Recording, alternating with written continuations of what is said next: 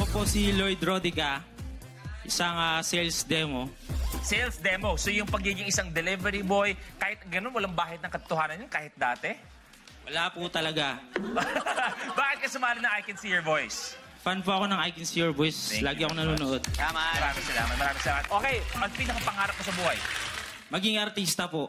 Ba, pwede, no? Sir Haji, may gusto bang sabihin kay Oo, Lloyd? pwedeng pwede ka maging artista talaga kasi ako nakumbinsi mo talaga eh. Oo. Kung sabihin nun talaga, in character siya from the beginning hanggang ngayon, pwede talaga siyang artista. Maraming salamat. Lloyd, maraming salamat sa pagsali sa I Can See Your Voice. Goodbye, Lloyd. Confirm na natin na siya ay Sintonado.